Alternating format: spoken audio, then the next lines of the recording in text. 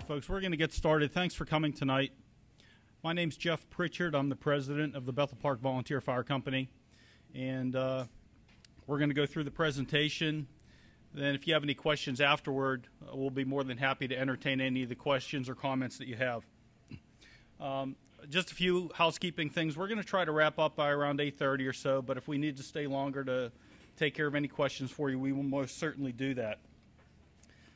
Um, as you can see, this is being recorded. We're going to use this uh, to run on Channel 7 and from some other uh, public affairs presentations. So, uh, just so you know, we are being taped.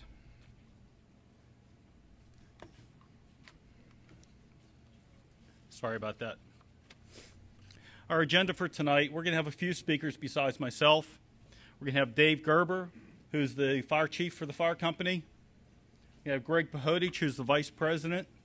Ed Schmidt, who is our uh, secretary and also in charge of the building committee. And Dennis Ross, who is the architect for the new building. All, any of the residents that are out there, does anybody know what the millage is right now that's allocated to the fire company? Zero? Any other? Zero? Zero? Zero. What's the answer? Zero. Absolutely right. We get no direct funding from the municipality at this point. Um, we'd like you to remember that as we go through the presentation. A little bit of the history of the fire company. 88 years ago, there was a fire on South Park Road. It was a house fire and there was nobody to call for help. There was no fire company, there were no firefighters, there's no fire trucks, nothing. And unfortunately, a young lady who was a, a, wife and a mother lost her life in that fire. At that point, there were 11 residents and businessmen in this community that decided that they wanted to make a change. So they got together, pulled their money together, and bought a Model T Ford and turned it into a fire truck. The fire truck didn't have much on it. Had a pump, a little bit of water, and some hose. They used rubber boots and uh, uh, and rubber jackets just basically to keep the water off of them.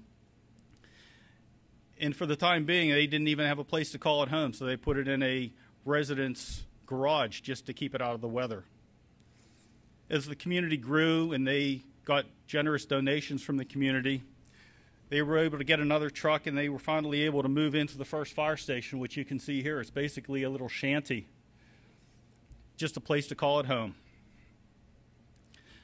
Again, as they as the community grew and the donations grew, the fire company grew. Unfortunately, they were able to get enough money in 1954 to build a fire station. They built this fire station on Brightwood Road. That was 59 years ago, and that's the same building that you folks are in today. The building, of course, had four bays over on the other side, enough to put some other trucks in. We were able to put an aerial truck, rescues, more pumpers, and the community kept on growing.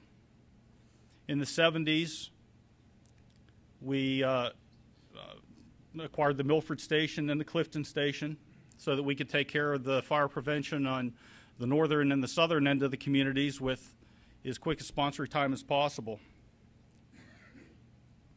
Back in the 50s, you know, we were only averaging about 90 calls a year, and most of those fires were brush fires. And we've quadrupled the amount of calls that we have now, and you'll see in the slides to come, we'll get some more information about that. About 20 years ago, we did a rehab over on the other side of the building. We basically knocked the whole side of the building off and rebuilt the engine bays. There are several reasons for that. One of the reasons was structurally, this building was not in the greatest shape, and it still isn't. Unfortunately, when they built this building, which they didn't find out until decades later, is when you put fill underneath a building to try to raise the land, you can't do it with old washing machines and box springs because 50 years down the road, it causes major problems, and those are the problems that we have now. The other reason that we did the rehab over there was because the apparatus, the, the trucks were getting bigger and bigger. We needed to carry more supplies on board, more equipment on board, and the engine bays just weren't big enough to get the fire trucks in. So we raised the bays to 14 foot doors instead of 10 or 12 foot high doors so we could get the apparatus in. But we were still limited to the size that we could expand. We were pretty much landlocked. We couldn't go any further that way and we couldn't go back any further. At this point, we're pretty much maxed out on the size and we just don't have any more room for, uh, for any more uh, construction and the building just can't be rehabbed any further. So that's pretty much where we are at this point. And as we, uh, as we go on with the presentation, you'll get some more explanation as to why we're doing what we're doing. Thank you, Chief.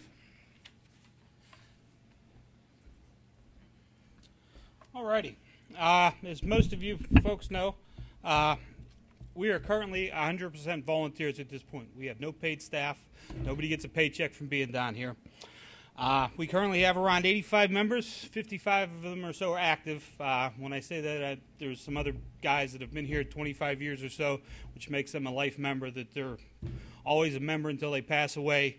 Uh, but they're, they're not here to participate in any firefighting activities. They're here for drills. Sometimes they help with fundraisers, things along those lines.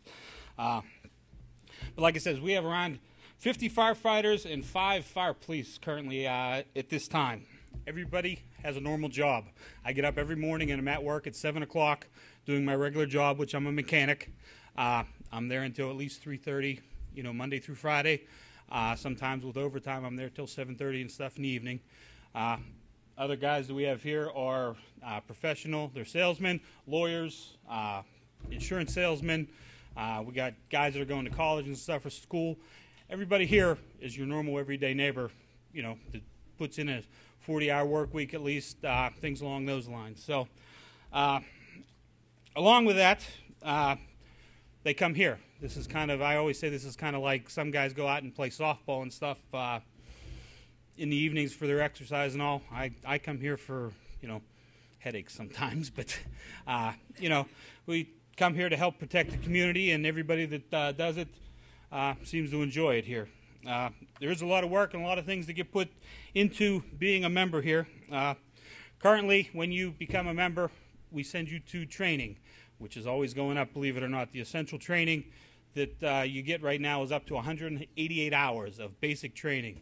And what that do is, does is lead you up into your final class, day of class, you put out one fire. So, with all that training, they're teaching you to throw ladders, they're teaching you to, uh, you know, search for people, they're teaching you all kind of hazmat stuff. Uh, they're giving you all the basics of what it takes to be a firefighter. So, when you finish with that 188 hours of training, uh, basically, what it gives you is a diploma so you can go on to do additional training to learn things like survival, to learn things uh, like large area searches. Uh, you know, basically, the 188 hours is giving you a very basic uh, set of training. Um, in 2012, uh, along with that training, there are also Monday night uh, training events. Every Monday night down here, we have a drill that normally lasts two to three hours. Uh, and in 2012, we spent 2,140 man hours doing that training. Now, that training is not just washing trucks, that training is coming in, uh, practicing pulling hose, throwing ladders, all the essential things that we do, uh, you know, every day at a normal fire. Uh, going over all the gas detection equipment and stuff we have. Anything that we need to teach the guys or practice updating our skills so that when we come to your house or place of business, we can handle uh, whatever emergency you might have. Uh, along with that, we also spent 370 uh, 70 hours of additional training. Some of the other functions that we perform is we go out of town a lot uh, to Mount Lebanon and into South Park for what they call a GO team. Basically, what that is is it's a specialized group of firefighters that is set up for di- for uh, the company that's actually doing the firefighting that's in the house. Uh, if something would happen as far as a building collapse, somebody would get hurt, uh, the GO team goes in to rescue those firefighters. We did an additional 370 hours of training uh, for that last year in man hours. Uh, we also did 2,046 hours of sending people off to the fire academies. Local fire academies include Washington County, Allegheny County, Westmoreland County. Uh, we have guys doing additional training with that. Uh, and that comes out to around 87 hours uh, for each active member, on top of the fire calls that we respond to, on top of the fundraising we do, and things along those lines. Uh, and as far as running the fire companies, you see up there it says that we spent over 17,000 man hours operating uh, the fire company in 2012. I would venture to say it is a lot more than that. I know myself, I spend an awful lot of time doing stuff, and I don't log hardly half the hours that I spend down here. Just ask my wife. Uh, as far as what's going on, there's always meetings, always things going on that uh, the chiefs go to. I believe three chiefs were out of town three days last week, uh, attending different meetings and stuff. So it is a very busy schedule that we put. And along with that, we all have families. I know at my house that I have a I have a 13 year old son, a five year old son, a one year old daughter, and a one month old son. So, you know, a lot of thought goes into uh, our families and stuff because when we're here, we definitely aren't at home. So, is that the next one? Uh, all right. We respond to in the area of about 400 calls a year. That's our average. Uh, along with those, we respond to all different types of fires, vehicle rescues, uh, chemical spills. We've responded to building collapses. We do a lot of odor investigations. Uh, we deal with weather problems, people trapped in elevators, fire alarms, carbon monoxide problems, and even the occasional cat in a tree. And that's no lie, we respond to a couple of them every year with people with cats stuck in a tree. With that, uh,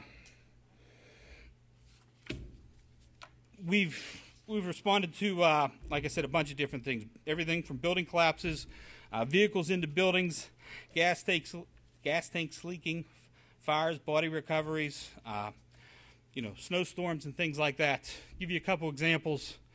Uh, I, at the last council meeting, I spoke about uh, a quick story that I had a gentleman that I work with come up and ask me about the tax that we're looking to, to have in the money. Um, and he, he, his thought to me was if we're going to pay a tax for fire service, we are looking, you know, he said, I expect a professional fire department. Well, to give you an example, my answer to that is you do have a professional fire department here, you just don't get paid. And, I, and I'll get to that shortly. We had a house fire on Sunday that you folks may have seen on the news. Uh, at seven minutes after one on uh, Sunday afternoon. The elderly lady trapped inside the house.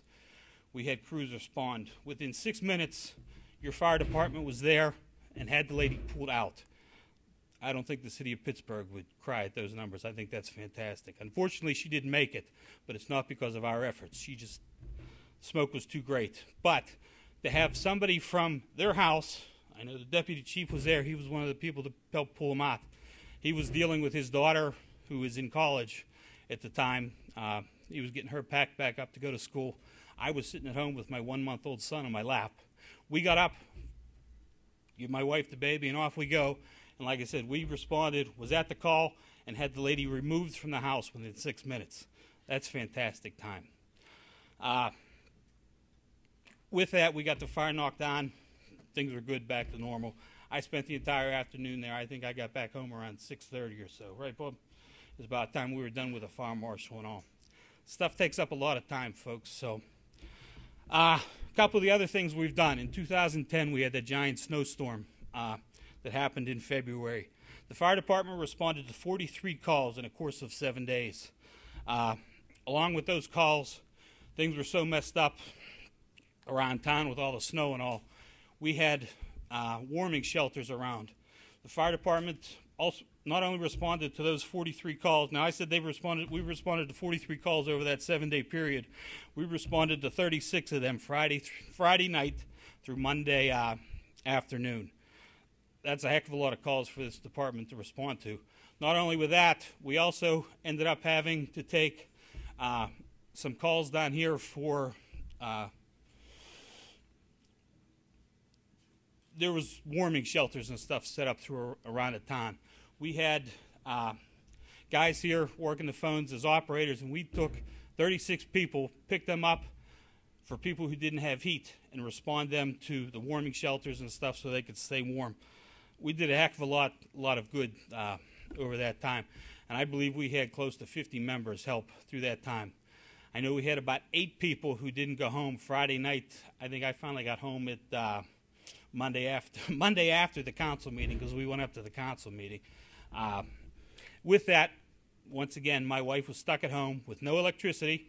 She also only had, or had a two-year-old son at home with no heat, no food, things along those lines. So, while my family had their own emergency, obviously, you know, and my story is just one of them. I think you can look at anybody in a black shirt had similar stories because, like I said, we had a lot of people that hung around. The G20 summit happened in 2009. Uh, as much as there wasn't anything that happened here in Bethel Park or much around Pittsburgh, you had 24 people staff this station for 39 hours straight. We had a couple people here at least through that. During the days, there was a lot of people, just in case something would happen. Once again, I don't think there's many fire departments around that had that many people here through those two days, just in case something happened. Uh, along with all the fires and stuff that we respond to and all the other emergencies, we also get into the schools. We have guys that go to school every year and give fire prevention talks. Along with the schools, we go to daycares. Along with the daycares, we go to block parties. You can, can call, request the fire truck. They'll come out to your block parties, show the kids the fire trucks and all. There's a lot of good fire prevention stuff that we do that a lot of people don't even notice. We've been down to South Park shops for fire prevention details. You'll see the trucks up at Home Depot just to get the word out about fire prevention. Benefits the community. What else we do? Last year we were reviewed by ISO. And what ISO is, is ISO is a leading source for information on property and casualty risk insur- insurance risk. Basically, what they do is they come out to the community, they go over the community's water system, they go over their emergency communication system, which is the police's dispatch center up there, and they also review the fire department. With that, they take look at all the different risks that are in the community, uh, check and see how well the fire department is prepared to handle these risks.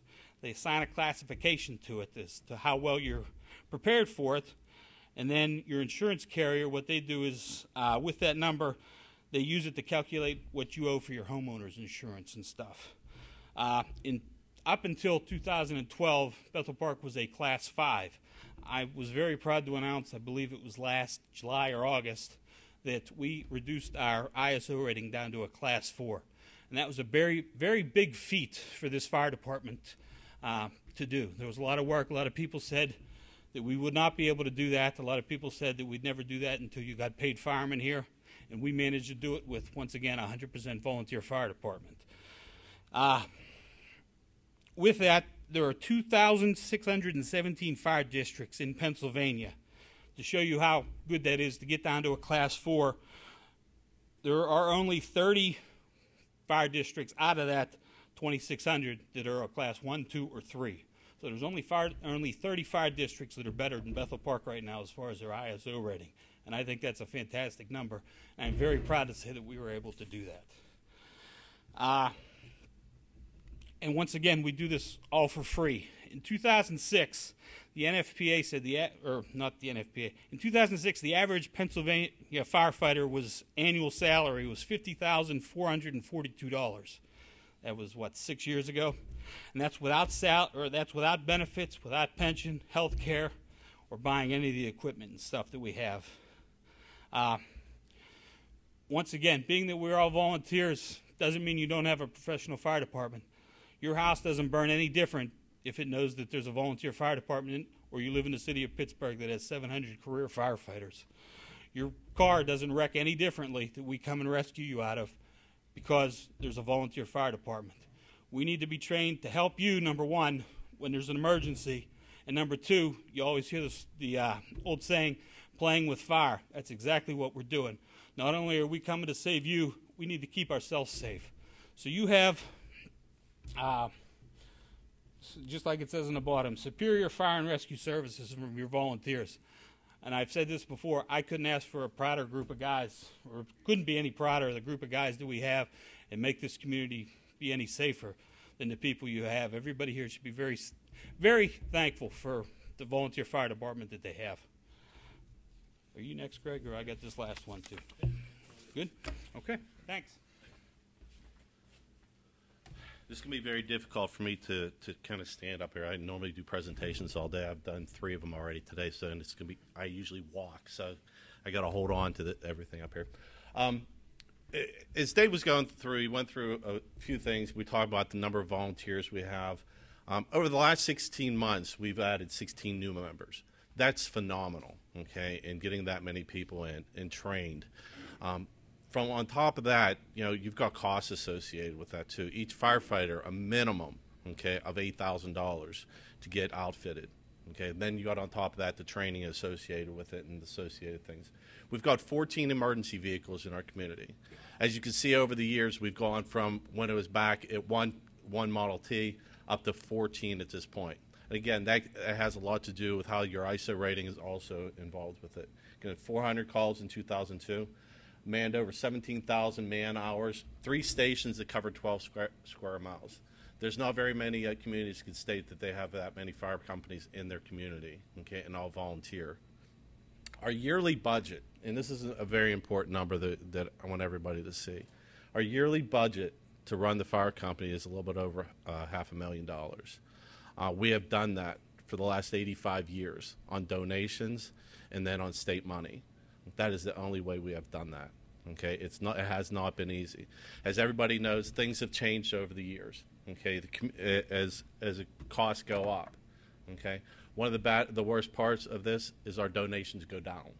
Okay, we have seen a decrease of about 14% per year. Going on 14% decrease each year is not going to allow us to continue on what we're doing. That makes it very, very difficult.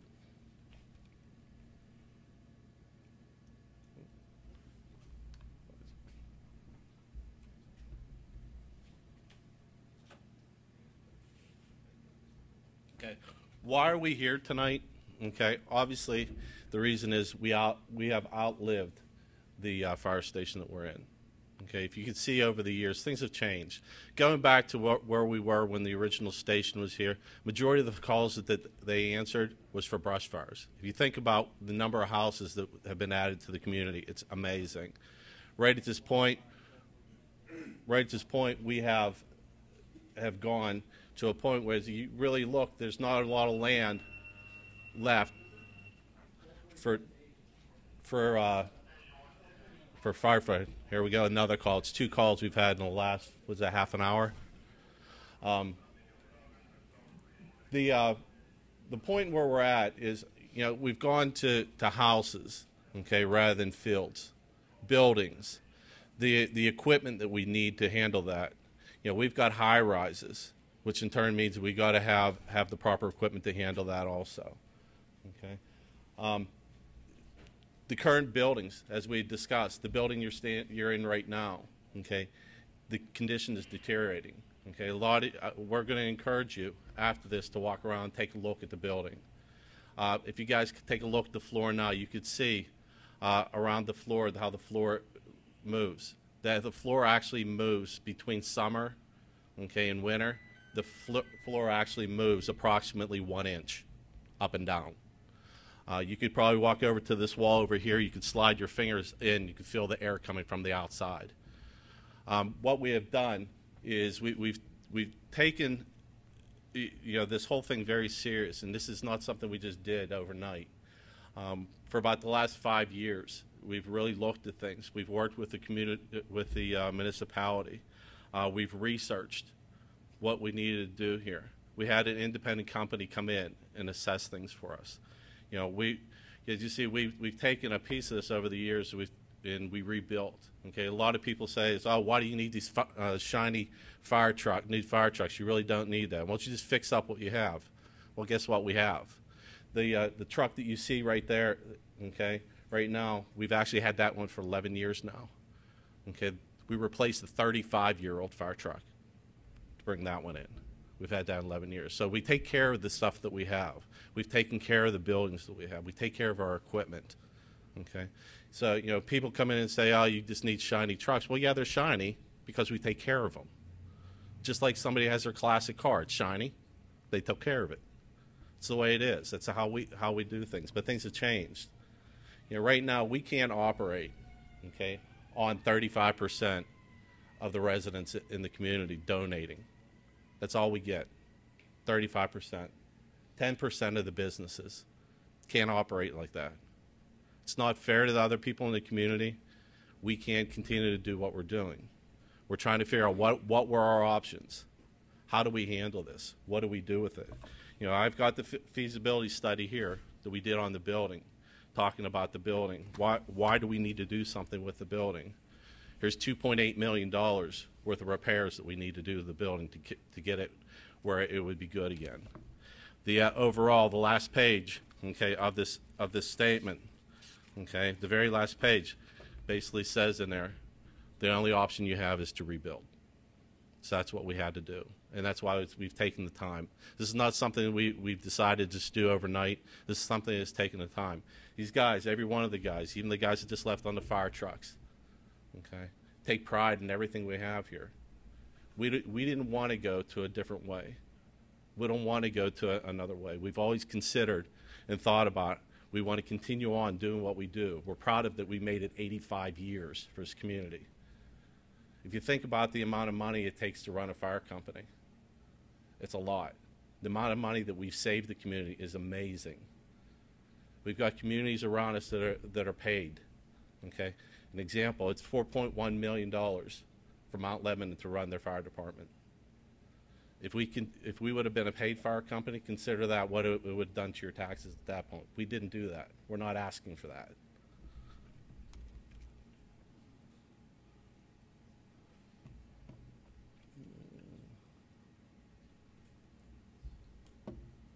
All right. So again, you know, we went through. There's a lot of things go, going on with the building. Okay, we encourage you to walk around, take a look. If anybody wants to look the report, I'd be more than happy to give it to them to look at it. All right. So after the meeting, please, the, this. All the firemen will be here to talk talk about everything going on. Dennis, I think this is you at this point.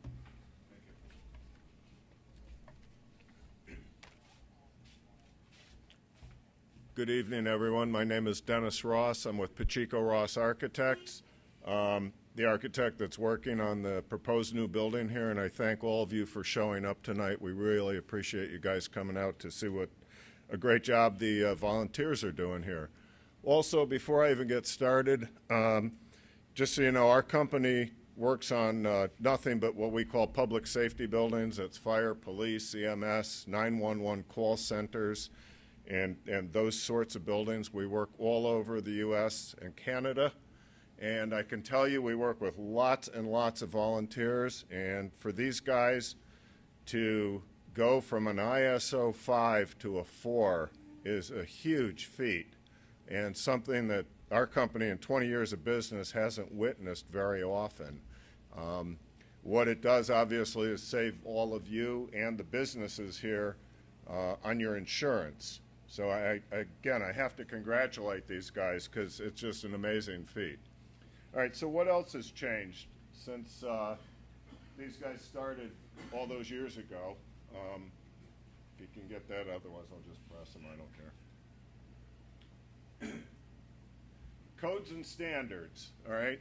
Not only are the firefighters held to all sorts of training regimens, um, they have all sorts of things they have to adhere to. If you look up in the left-hand corner, NFPA, National Fire Protection Association, gives hundreds of standards that they train to, that their equipment works with.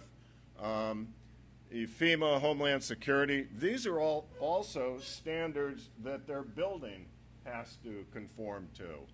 Why? Because unlike your home, unlike your shopping center, a fire station is a working facility. It's a 24 7, 365 day a year facility.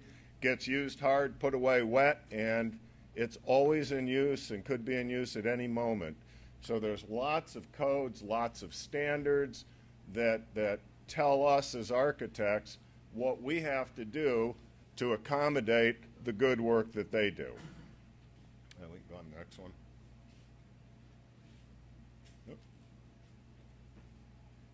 Here we go. Um, what we're looking at here is just a Google map of the existing site. Um, we're on Brightwood Road, right here. Building's here. This is that big concrete tarmac, and we are sitting right in that room there. Um, one of the things I do want to say that it, on the previous slide, um, fire stations are what are considered essential service facilities. All right, what does that mean? It means when there's a problem, whether it's a nor'easter, a storm, um, train wreck, whatever it may be, it's one of those facilities that absolutely, positively must operate. Fire stations, police stations, uh, EMS facilities, hospitals, nuclear power plants. Those are some of the things that are in this essential service facility category. Um, and I think everybody learned when Hurricane Katrina hit in New Orleans and all those essential services did not work. Uh, everything came to a screeching halt and, and people were hurt and the community suffered and they're still recovering to this very day all these years later. So what does that mean? It means when we design these facilities, we design them to a much higher standard and they are constructed to a much higher standard. So I just wanted to let you know. All right, so what do we as architects do to actually get this process going? I mean, we don't just sit down and draw pretty pictures, especially of a facility like this. So there's a whole process we go through to make sure that the building and what we're doing is both flexible, cost effective, that it actually serves the purpose of the volunteers and lets them do what they need to do. So we start the process with what's called a program, and you can see here just a page, if you will, out of our program. We as architects sit down with the building committee, and in this case, uh, not only the building committee, but, but chiefs, assistant chiefs, firefighters, and we actually mine information out of their heads. They know how they fight fires, they know how they respond, they know what their operations are, and we need to get that information out and put it on paper because that's what we use to design with. So we take that and we do this program and, and we have a very long, intensive meeting. We have a lot of back and forth, a lot of dialogue, and we produce this program and what it is, it talks about what the station needs to be, how it needs to operate. You know, it needs, uh, you know, six bays, needs meeting room, it needs support space, it needs a generator, um, and on and on and on. And we get it into great detail. Because we've done and worked on over 200 fire stations, we're able to take that information, and then you see this page, we actually take the information, just let's use the bays as an example, and we say, okay, if we have six bays, we have a ladder truck, an engine, a tanker, rescue truck, et cetera, et cetera. They fight fires, they do ice and water rescue. We know what kind of equipment means. We know that takes up X, Y, Z amount of space. And we do that with every single space in the building. So we're looking, you know, not just an office is eight by 10, but what are you using the office for? And can we overlap the use? What kind of support spaces support the response of the bays? When you just saw your volunteers go out here on this call, they didn't just rush out of here, hop onto the equipment, and drive away. They have to put on protective gear. They have to know they're taking the correct vehicle with the correct equipment in it for the particular call. All that has to be part of the building so that they can respond, and that's our job. So we take all that information, come up with the sizes, the space, our first initial budget, and then this programming tool, if you will, is what we use as designers to actually then make a physical building out of it. So that's how we get the process started. Take the same site, we're still on Brightwood Road. All right, still have an apron. Um, and now we look at taking this building and how it's going to fit on the site. How can we do that cost effectively? And for any of you who are familiar with this, you know, we're very low down here. Property goes out back there. And we have this slope to deal with. So now we're going to try and put this fire station on this slope site. We want to make sure it's cost effective. We want to make sure that when fire trucks are sitting out there, they're sitting level, they're not climbing too high to Brightwood Road. So we're doing this balancing act between where are the roads, where's the building, and again, how do we do it within budget and cost effectively? So that's when we start doing this, you know, what architects do, we start drawing plans. In this case, again, Brightwood Road, the way we're facing, Brightwood Road is out here. These are the apparatus bays. So you can see the ladder truck here. I bet you can hear. Okay. Um, thank you. The ladder truck is here, engines, rescue, and some of the spaces I talked to you about support spaces, for example, workroom, air room, uh, decon, disinfecting, if you will, lockers for that very expensive bunker gear, generator, and then some bunks that could serve two purposes. One, certainly if there's going to be a nor'easter, a storm, or something, that the volunteers will now actually have a, a safe, uh, proper living environment to stay overnight for a night or two. Or the other thing you can do, and we've seen this done both here in Pennsylvania, New York, and a lot of other places that we're working, start what we call a bunker program. And whether they are starting one or not, at least it gives them the ability. And what that is, is that's where you invite college students to be firefighters. You actually start a contract program, and they're students, they're firefighters, they have to maintain averages of a beep or better, et cetera, et cetera, and you know, they have to train and do all these things. So it gives them the possibility. It's a great way to attract new volunteers, and it certainly takes care of the existing volunteers. So we do have proper living space. And then on the second floor, if you will, which is the second floor, but if you watch, uh, tower, tower, I'll get to that in a minute.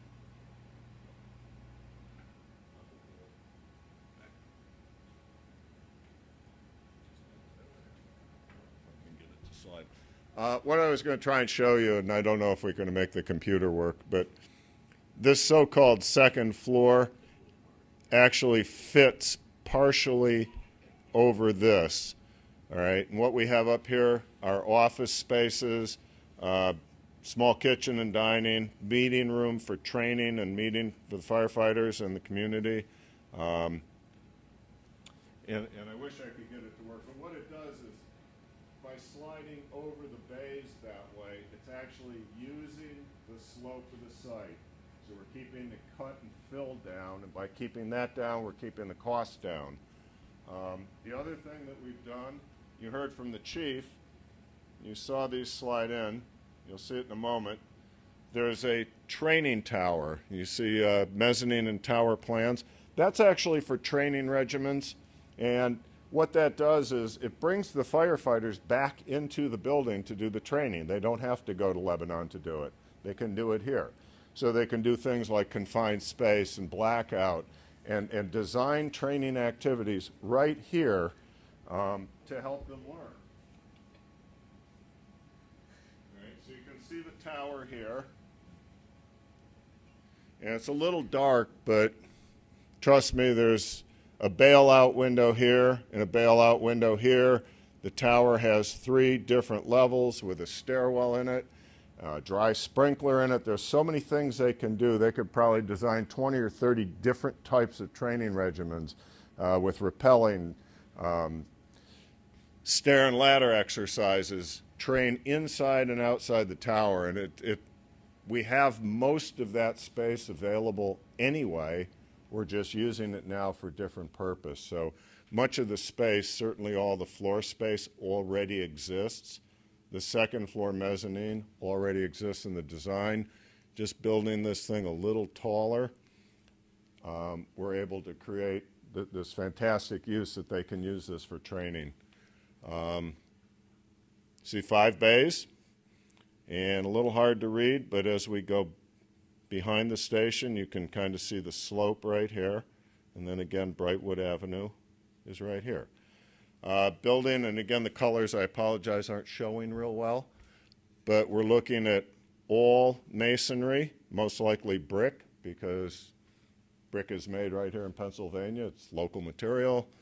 Um, metal roof, just like on the uh, recreation center behind us here. Uh, all good, solid commercial materials. And we're just going to move around the building here. Here.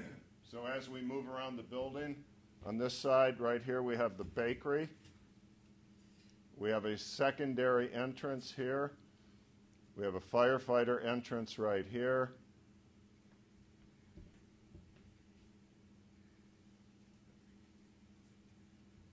And then on the other side of the building, you can see the entire scale of the project changes because on the other side of the building we have residences. It's a much smaller type of scale. So you're not seeing the tall bays, the two story. It's much more subdued, much more residential in scale. Again, same materials brick, metal roof, double hung windows. They can actually open. You can let air and light in. And then just the last one as we go around. And again, using the slope on the site, you can see we've provided the ladder truck with what's called a drive through. So they can actually pull up from the back, drive the truck through because of its uh, 50 foot length and the size of the truck, and then pull it out again. Just a much safer and easier way for the volunteers to use the vehicle. So, what are some of the highlights of the building? First things first, it should be 50 to 75 years that this building is standing. Um, certainly, if you're going to use public dollars for any kind of fire, police, or EMS station, it should last a long time.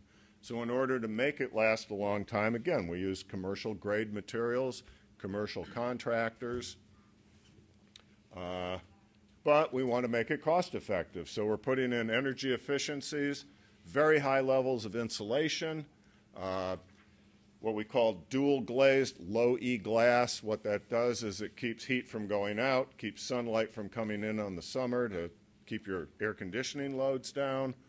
Um, in-floor radiant heat in the apparatus bays. Um, we've used that in the Northeast in probably 50 different stations. It's about as cost-effective heating as you can get. What it actually is, is in the concrete slab, we have tubes. You just run low temperature water, about 90 to 100 degrees. Comes out of boilers that are tankless, high efficiency, 98% efficient boilers and you just run water through the slab. When the slab heats up, it holds its heat. So what you do is you just put a thermostat in the building, one outside. The two thermostats talk to each other, keeps the bay at about maybe 60 degrees. Uh, extremely comfortable because the heat's coming up, and it's just amazingly cost effective. Using water saving devices on sinks, toilets, uh, setback thermostats to keep the heat down. Again, it's a volunteer station. They may not be here all the time, so we can keep the heat down when they're not. Occupancy sensors. That's for when you walk in a room, lights can turn out. When you walk out, if you forget to turn the switch off, they'll turn it off for you. Um, circulation pumps, uh, high efficiency HVAC units for the living side of the station energy saving light fixtures, which these certainly are not. Um, lots of weather stripping, seals, foam protection, all very common sense, off the shelf stuff. Pipe and duct insulation, all throughout. Again, very common, very off the shelf. we do the same thing for the site. Again, Brightwood Avenue, bays here, your building, some parking out and back on Park Avenue. but again, we're looking for the same kinds of efficiencies on your site. Again, to make it operate correctly, save money. So we're looking at uh, on-site drainage and stormwater protection, um, construction activity pollution uh, prevention.